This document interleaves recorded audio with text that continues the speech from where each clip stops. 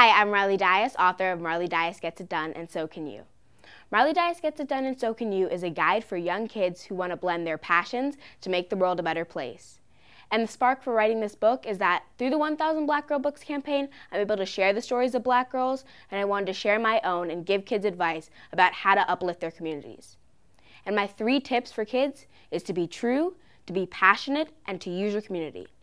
When I say be true, I mean to do your best and not worry about being the best because when you do something that you really, really care about, you can do it for days, for months, for years, and still feel fulfilled.